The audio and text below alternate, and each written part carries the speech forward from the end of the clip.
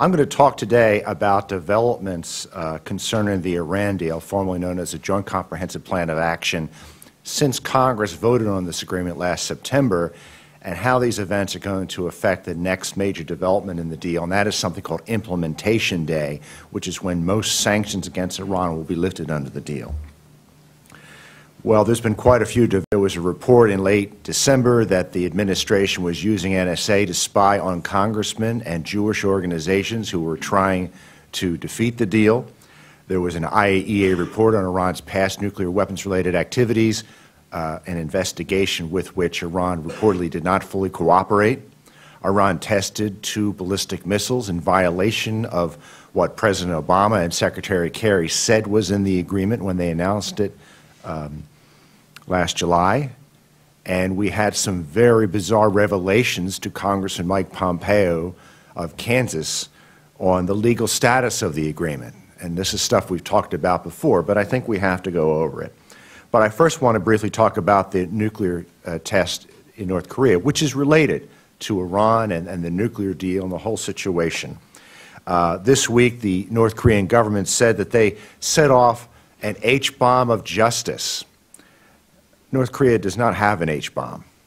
Uh, it is significantly beyond their technical capabilities. I make that uh, assessment based on my work uh, following these issues for the U.S. government, for CIA, and the House Intelligence Committee and State, and consultations with colleagues of mine.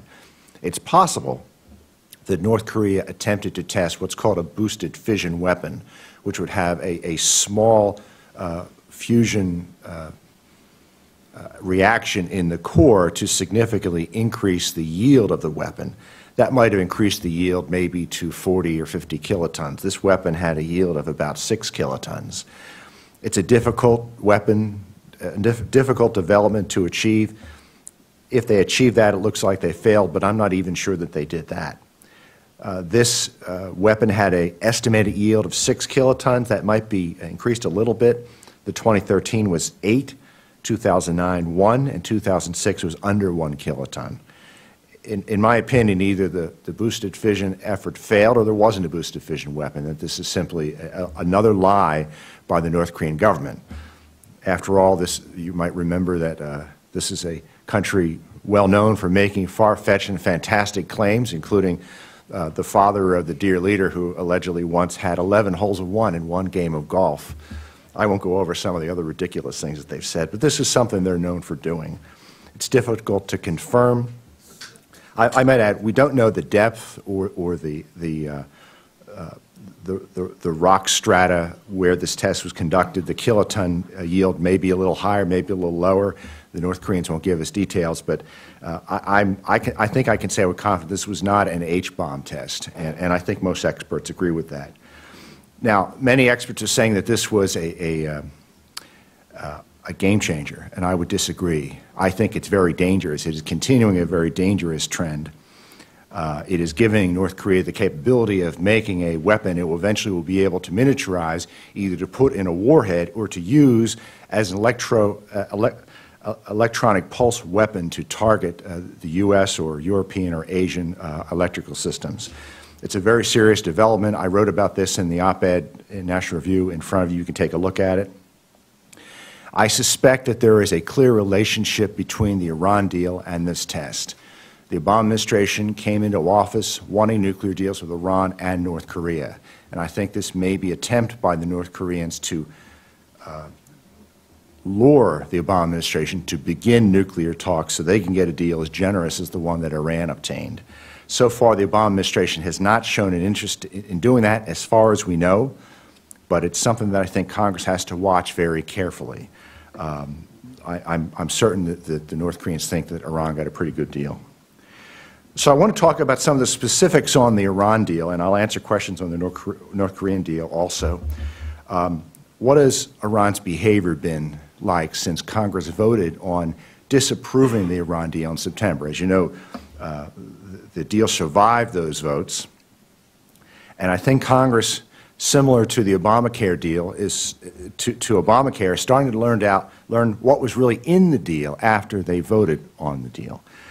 Uh, First, let's talk about ballistic missiles. There were two ballistic missile tests by Iran in October and November. One had a range of eight, about 800 miles, the other had a range of about 1,200 miles. We were told by President Obama and Secretary Kerry that for eight years, Iran would abide by UN Security Council resolutions not to test ballistic missiles. Well, Iran immediately rejected that claim, saying they didn't agree to this uh, in the JCPOA. And it turns out that this commitment is not in the deal itself. It is in an annex to a Security Council resolution that approved the deal. So Iran is technically correct that they did not agree in the nuclear deal not to test ballistic missiles, even though the President Secretary Kerry represented otherwise when the deal was announced in July. The Iranians are also claiming that these tests of missiles do not violate Security Council resolutions because they're not designed to carry nuclear warheads. Well, there's no sane arms control expert I know who thinks that there's any purpose for these missiles other than carrying nuclear warheads. They are not being designed to carry monkeys into space or, or, or, or, or uh, other purposes. Th this is the purpose of these missiles. The Security Council gave the Iranians a, a, a slap on the wrist. wrist. You may notice in, in, a, in a related development, uh, Iran fired rockets near a, a, U.S. aircraft carrier in, in the Strait of Hormuz on this 26th of December that landed within 1,500 yards of, of, of the carrier. And uh, after these two missile launches and that development, it was heartening to hear on the 20, 29th of December that the administration was going to initiate new sanctions against Iran for the ballistic missile launches. I was stunned by this, and several people called me up and said, What do you think? I said, I'll believe it when I see it, because the administration is never going to do something that will compromise this deal. The Iranians responded by saying that they are going to ratchet up their missile program in response to the newest sanctions. And lo and behold, on the 31st, the administration called the sanctions off. They said they are postponing these sanctions indefinitely because of ongoing military work, uh, diplomatic work. So this is an indication that this deal is more a restriction on American foreign policy than it is on Iran. Because this administration wants this deal so desperately, the Iranians know they have us. If we put any more sanctions on Iran, Iran walks, and President Obama loses his legacy nuclear deal with Iran. This administration is desperate not to let that happen. And this type of development is going to have significant implications for the verification of this agreement and other important implications that I'm going to discuss. On December 2nd, the IAEA issued a report on Iran's past pursuit of nuclear weapons, known in UN lingo as the possible military dimensions of Iran's nuclear program. Now, there's a there's an interesting story behind this I think you're aware of.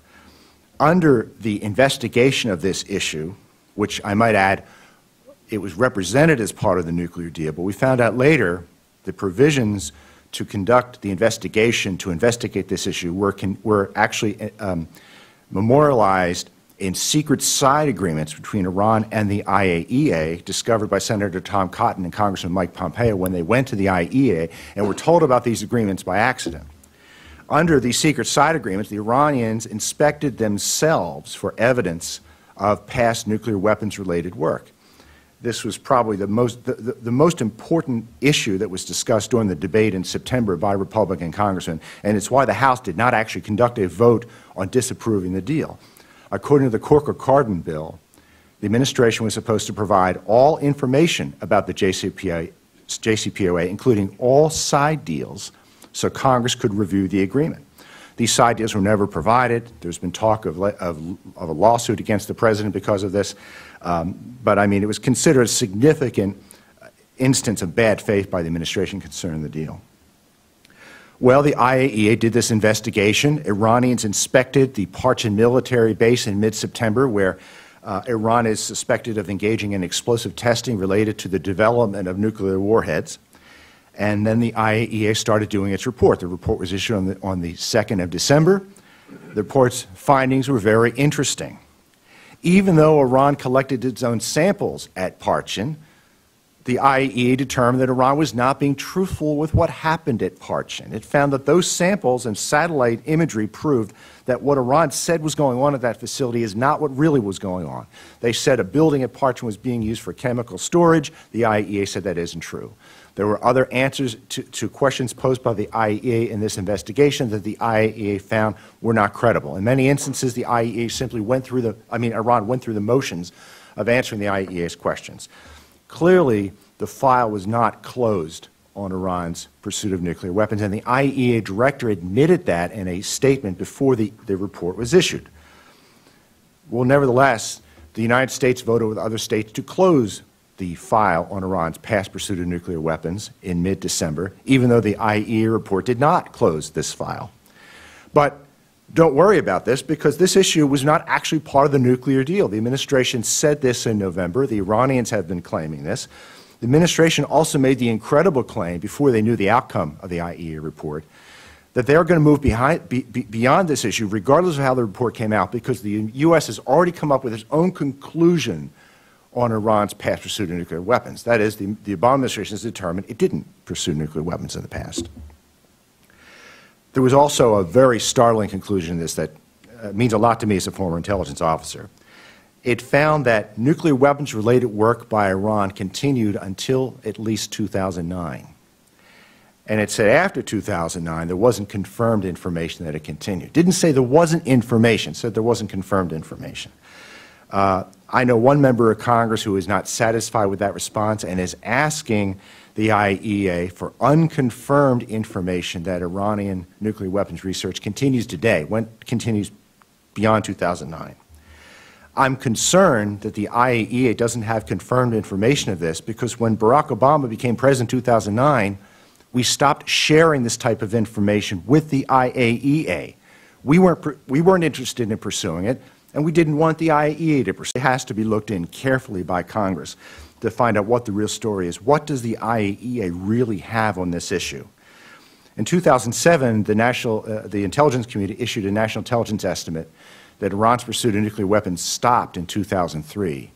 I was on the intelligence committee at the time. This was an incredibly badly written and politicized report, and to have the IAEA basically repudiated was sweet. I was, it was, it was great. Um, so that, that was a, a, pretty significant development. Um, there's a very interesting development concerning the legal status of this, this agreement, which I think is going to make it easier for the next president to throw this agreement out. Mr. Pompeo asked the administration, is this a treaty or is it an executive agreement? Is it binding and who signed it? Uh, the answer is, it is an unsigned binding political commitment. Now, I don't I've been in this town for over 25 years. I don't know what that is. Um, and it was sort of incredible. Now, it, now, we knew no one signed it, but have the administration admit that was interesting. What, but it's also interesting to note that although the U.S. Congress, the Senate, was not allowed to perform its duties under the Constitution to ratify what is clearly a treaty, which means a two-thirds vote should have been taken to make this a legally binding uh, uh, document on the U.S. The Iranian parliament did vote on this agreement.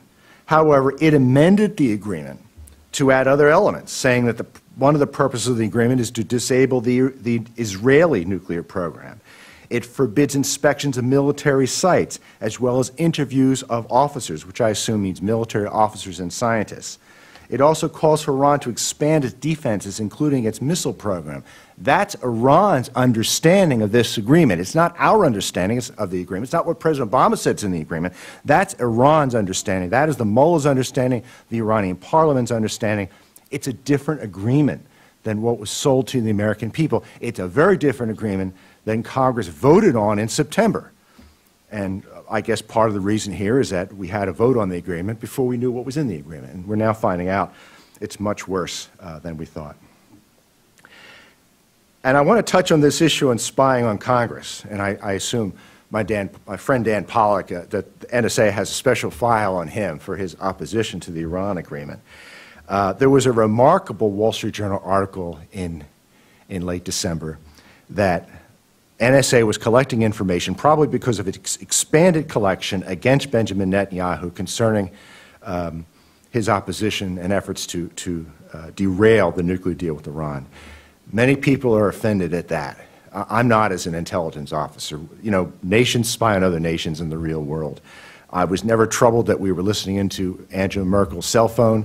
And I will note that right after the, the, the, uproar in Germany over that, it turned out that German intelligence was listening into the cell phones of Secretaries Kerry and Clinton. I mean, this goes on in the real world. And, and let's, and I, and, and I mean, we know the Israelis are spying on the United States. Let's, let's be grown-ups. We know this goes on. However, caught up in that collection were private discussions by members of Congress and American Jewish organizations. Now, this happens sometimes in NSA collection. If that happens, the name is minimized, it's removed. And let's say an American citizen, they'll say uh, citizen one, citizen two. And that information is treated very carefully. It's possible for a, a policy official to get the name of the, of, of the American collective. That's, that is done under extraordinary circumstances. Intelligence concerning the discussions of congressmen is extremely sensitive and is supposed to be destroyed unless, unless there is a compelling foreign intelligence reason to keep this information and to disseminate it. The only way to do that is for a waiver by the NSA director according to the NSA's rules. It, it's, and the reason for this is we don't want one branch of government spying on another. We don't want the president to use one of the most powerful intelligence agencies on earth to listen in on the conversations of another branch of government. That, that's what happens in banana republics. That's not supposed to happen in this country. Um, it appears, according to the Wall Street Journal article, that the White House knew it was getting this information, and at least one official said to NSA, We're not telling you to collect it, we're not telling you not to collect it, you decide. Sorry. What they really were saying, We're not trying to collect this stuff, but if you do collect it, we'd be very grateful. That's what was really going on here. They knew they were not supposed to have this information. And I have some more news that was not in the Wall Street Journal article. Uh, Pete Hoekstra, former Intelligence Committee chairman and a good friend of mine, has heard that the White House was using this information to identify congressmen who they had to lean on to change their position on the Iran deal. Now, this is important because the vote on the Iran deal in Congress was pretty narrow. The president was desperate to get a, a, a veto-proof majority so he would not have to go through the humiliating spectacle of vetoing Congress's rejection of the deal, the Senate's rejection of the deal. The White House may have won this battle because it had NSA reporting on the opponents of this deal, the, the private discussions of opponents of this deal, American opponents of this deal. I think this is truly outrageous. It has to be investigated. The House Intelligence Committee is investigating it. It concerns me there has not been nearly enough press about this because, I mean, th this really is a, a, a, very serious violation of, of the way uh, the U.S. government is supposed to operate and the way intelligence is supposed to be used. So, the final point I want to talk about. Um, well, I, will mention we know there are a slew of other examples of bad behavior by the Iranians um, since Congress voted on the deal. Their increased role in Syria, firing rockets at a U.S. carrier, arresting another American and American green card holder, convicting Washington Post reporter Jason Rezaian of espionage and sentencing him to an indefinite prison sentence. I don't think this shows good faith by the Iranians since we voted on this, uh, voted, since Congress voted on this agreement last September.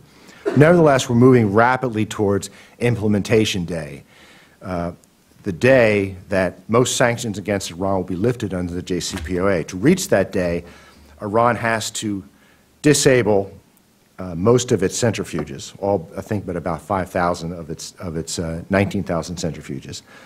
Send its uranium to Russia, most of its enriched uranium to Russia, or dilute it, and reconfigure the Arak uh, heavy water reactor um, which is eventually going to be redesigned, not so it won't produce enriched uranium, uh, not won't produce plutonium, but it will produce less plutonium. And I had some figures here I wanted to talk about on uh, one point here.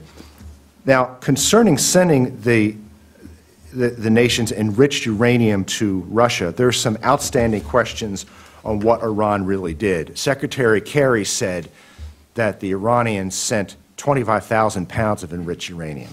The IAEA says that Iran has 27,000 pounds. The Iranians are claiming they sent about 17,000 pounds. So there's a, there's a disparity between these numbers that has to be resolved. But even more in, important, this was self-reported by Iran. It wasn't reported by the IAEA. Now, the Russians verified the Iranian number, which doesn't give me any confidence that, confidence that it's accurate. But, but I mean, this, this shipment should have been verified by the IEA. That hasn't happened yet. And I think that raises some questions about what was really transferred.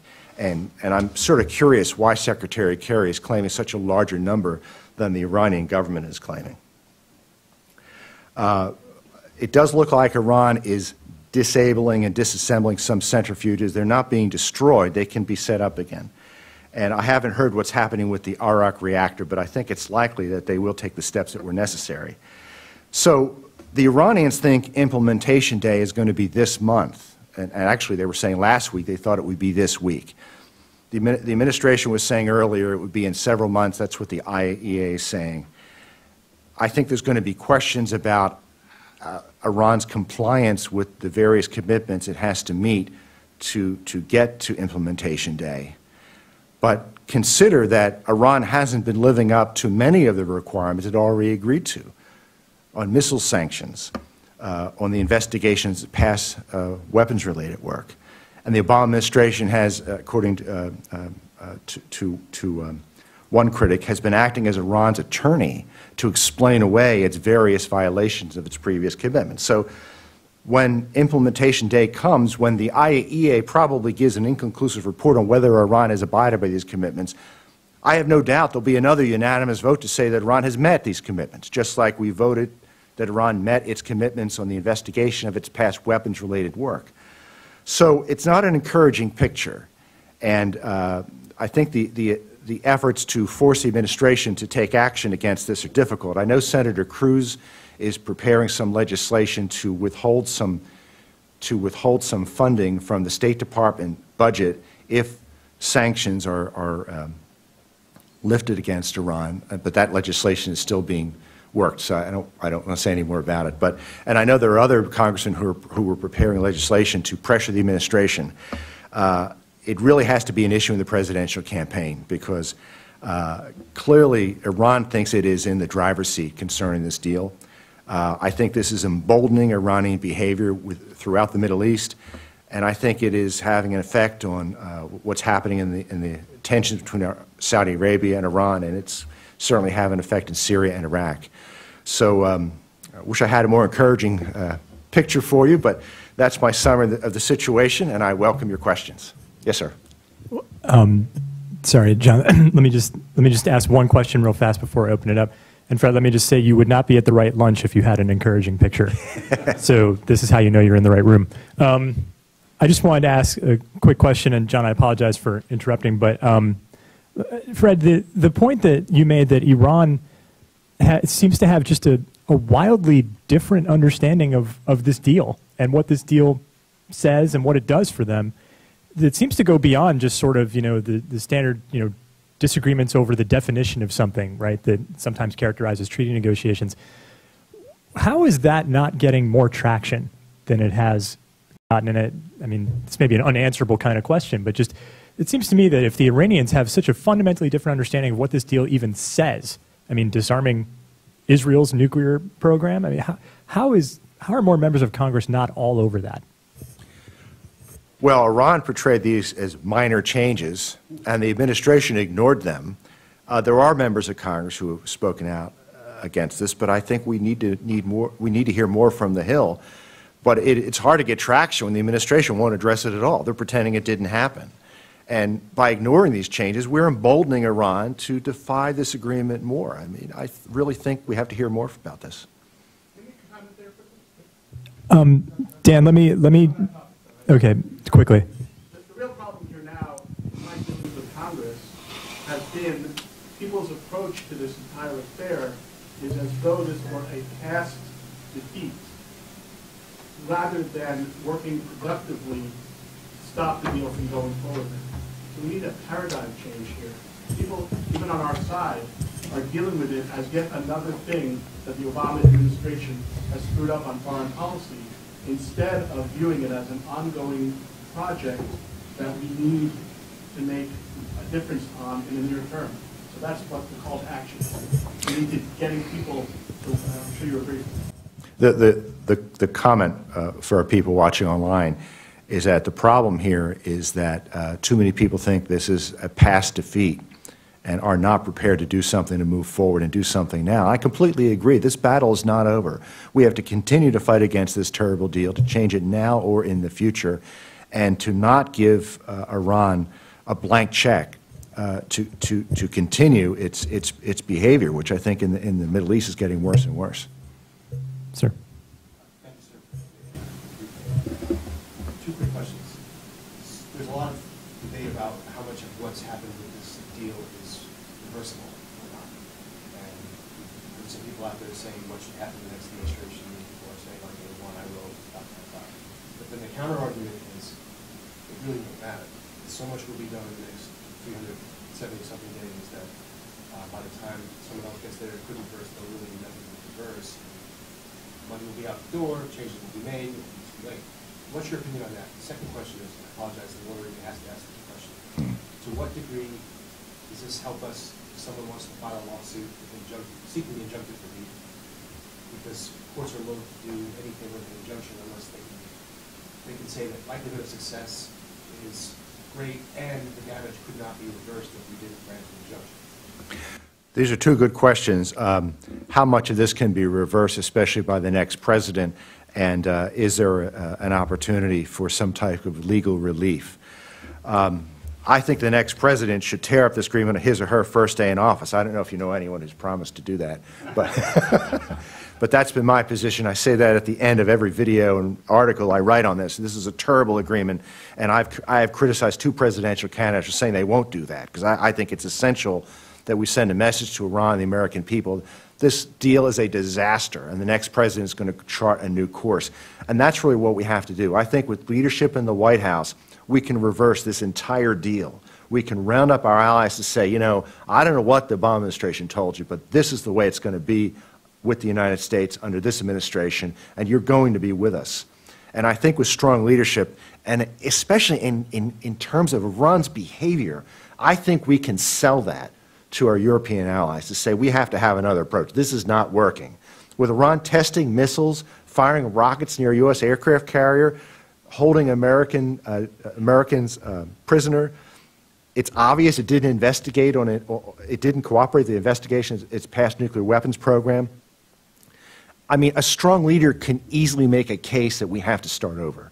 That, that's, that's my position. And I think that we can start over. I might add, Iran is not getting rid of its nuclear infrastructure. It's disabling it, it's putting it aside, it's sending enriched uranium out of the country for an equivalent amount in raw yellow cake from Kazakhstan. So there's, no, there's going to be no change. It's going to set it back maybe five or six months. It'll be able to replace all that enriched uranium fairly quickly. This is not a deal that's, dis, that's disassembling or destroying any of Iran's nuclear infrastructure. That's what really had to be done. In terms of, of legislative relief, I'm just going to talk about this briefly, then I, I want Ben to talk about it because he's an attorney and he works, with, he works closely with the Hill. I think we simply have to have a decision by the House leadership to move on a lawsuit. Now, I, I agree with you. It's going to be hard to get a court to move on this, and it's going to be time consuming.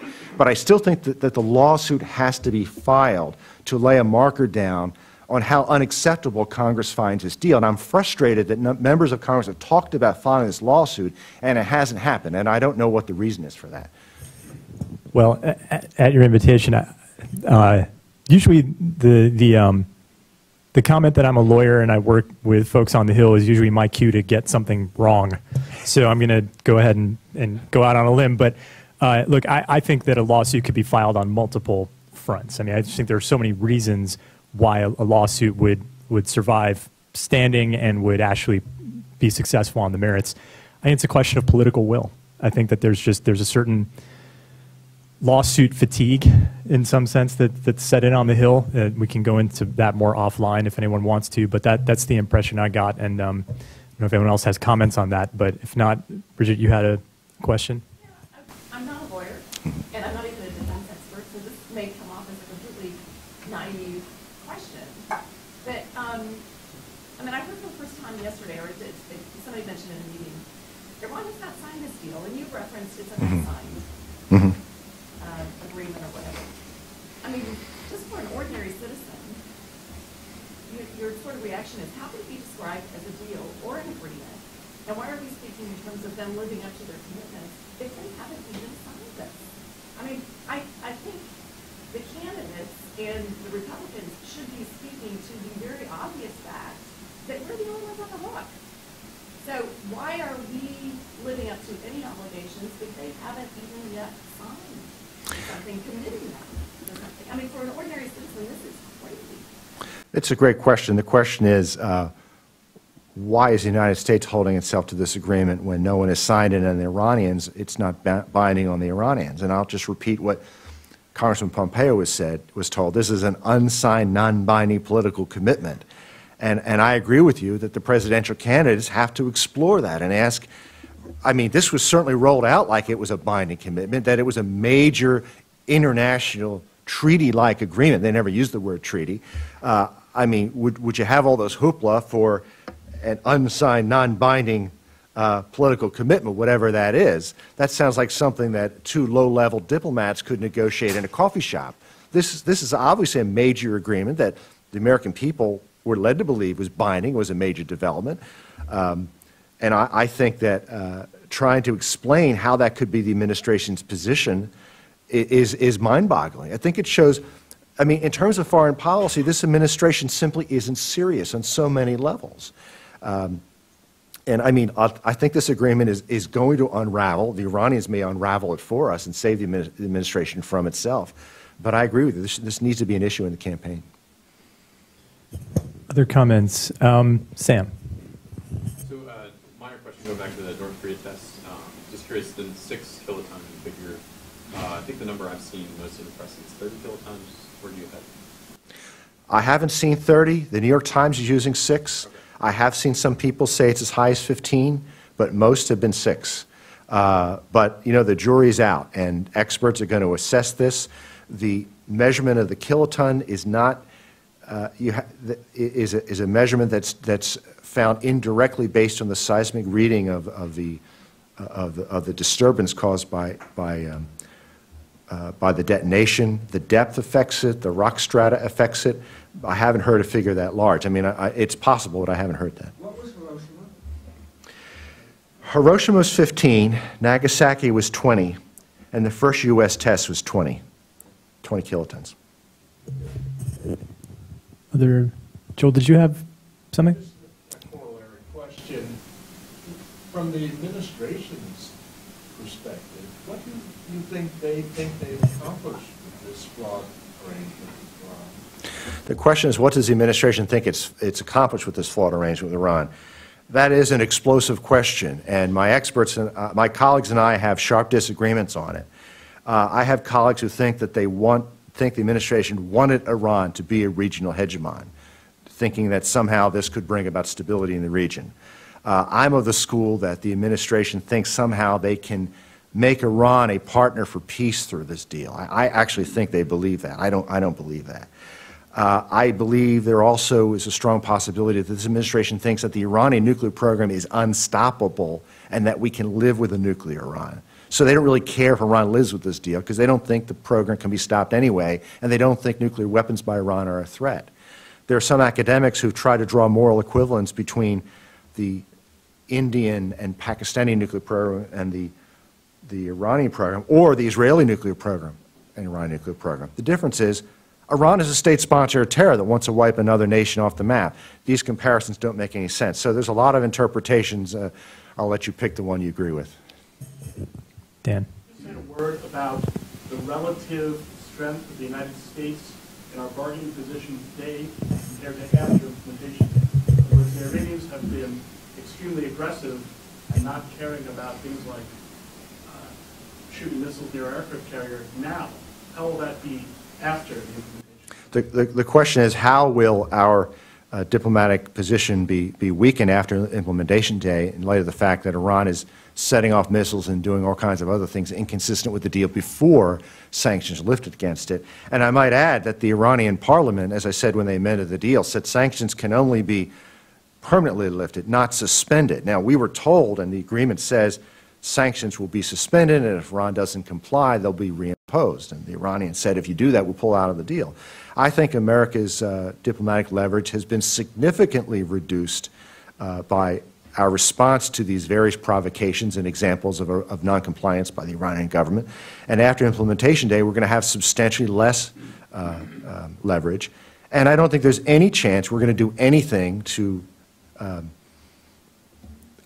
endanger this deal by forcing Iran to pull out before Mr. Ba- Obama leaves office. He's not going to implement more sanctions on Iran. He wants to leave office with this deal intact. Sir, we're going to make this the last question. Go ahead. There's, the mic's not working today, so just ask your question. Uh, On the uh, sh- shipment of uh, en- enriched uranium, I saw that uh, Norway as well as uh, Russia was involved. Now, would it be possible through Norway to get some believable verification? And I agree with you, Russian verification is worthless. The, the question is, if Norway was involved in the shipment of the rich uranium, could we get verification from them? I, I haven't heard that. That would be a, a, a way to go to try to figure out what was involved. Uh, for me, the big question, I mean, I'm concerned that Iran stated itself without IAEA verification how much it sent, but I'm also very concerned at the, at the significant disparity between the number that Secretary Kerry laid out and the number the Iranians are laying out, and I don't know what the explanation is for that. Okay, um, well, I think we will bring this session to a close. then.